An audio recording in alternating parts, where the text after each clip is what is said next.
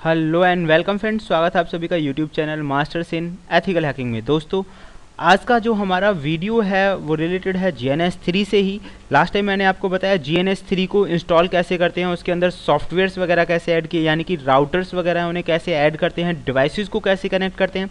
आज मैं आपको आगे बताऊँगा कि अगर उन्हें कन्फिगर करना हो, अभी तो हमने सिर्फ़ ये जाना था कि डिवाइसेस को कैसे ऐड किया जाता है, लेकिन आज हम ये जानेंगे कि उन डिवाइसेस को पूरी तरह से अटैच कैसे हम करेंगे आईपी एड्रेस वगैरह कैसे प्रोवाइड करेंगे, और कैसे हम चेक करेंगे कि वो वर्किंग में है या नहीं है।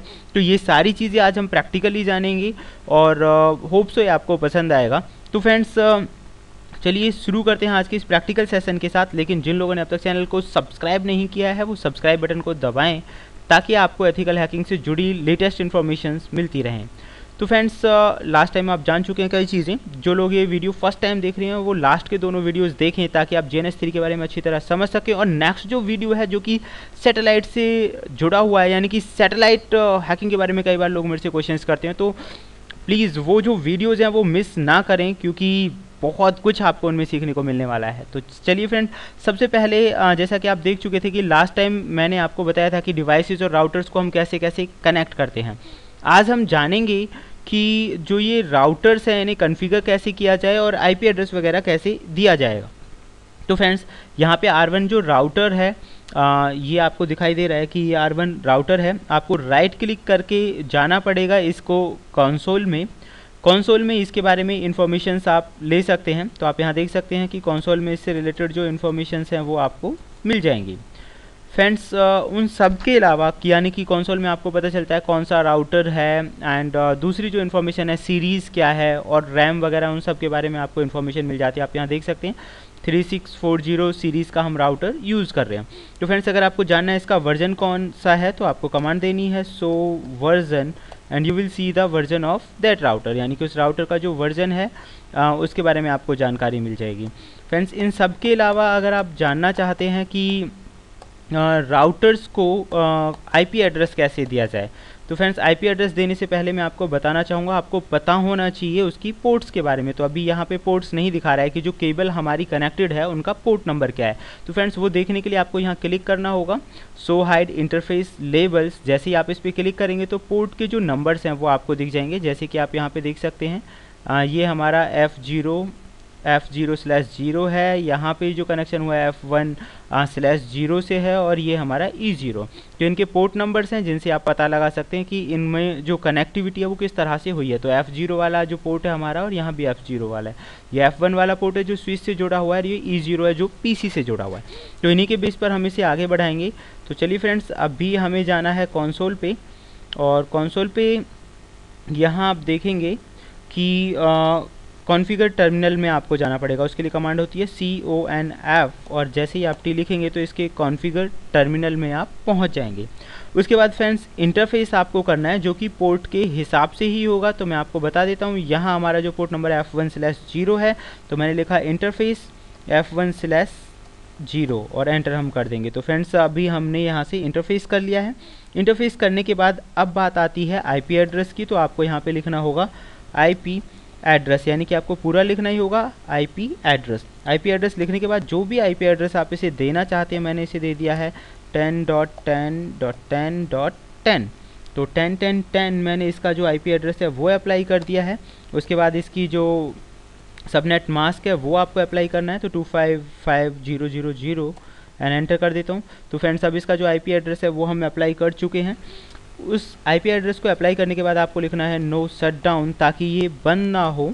और उसके बाद हमें इसकी दोनों जो प्रॉपर्टीज़ हैं, वो अप्लाई कर चुके हैं।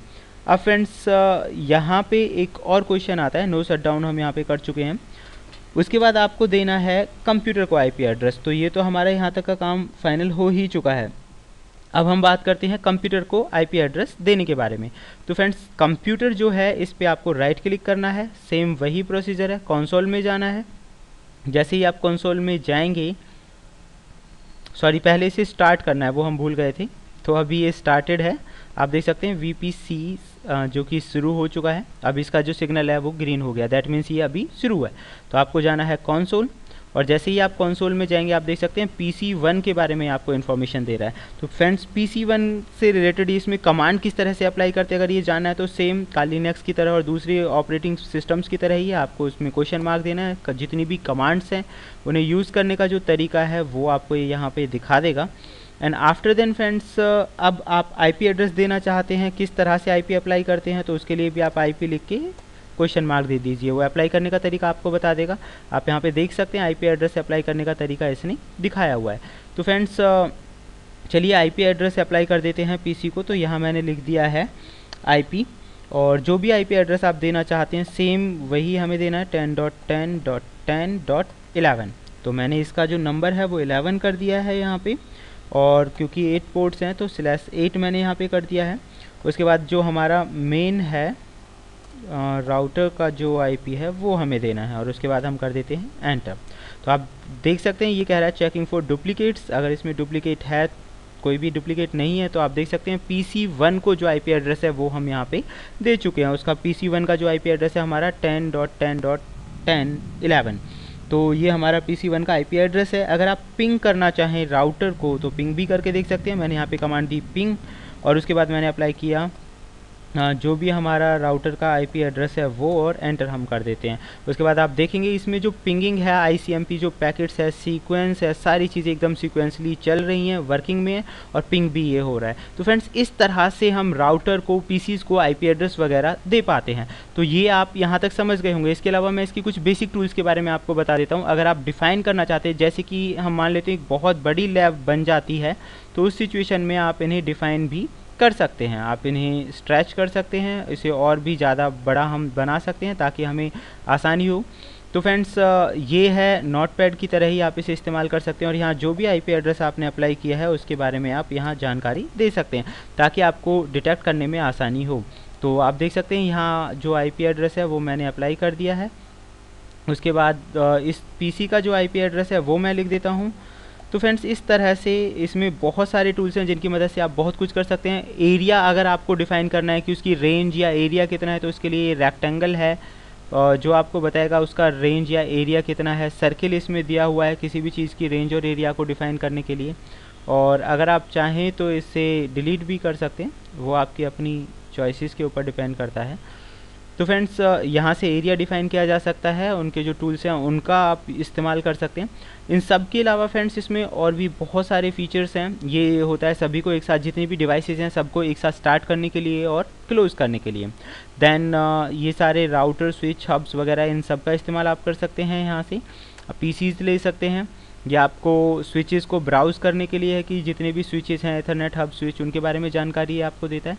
तो फ्रेंड्स ये था हमारा आज का फाइनल वीडियो अगर इससे रिलेटेड आपके माइंड में कोई भी क्वेश्चन हो तो आप हमें कमेंट कीजिए एंड नेक्स्ट वीडियो को देखना ना भूलिए। नासा से रिलेटेड इन्फॉर्मेशन जिसमें आपको मिलने वाली है। तो होप सो आप उसे मिस नहीं करेंगे।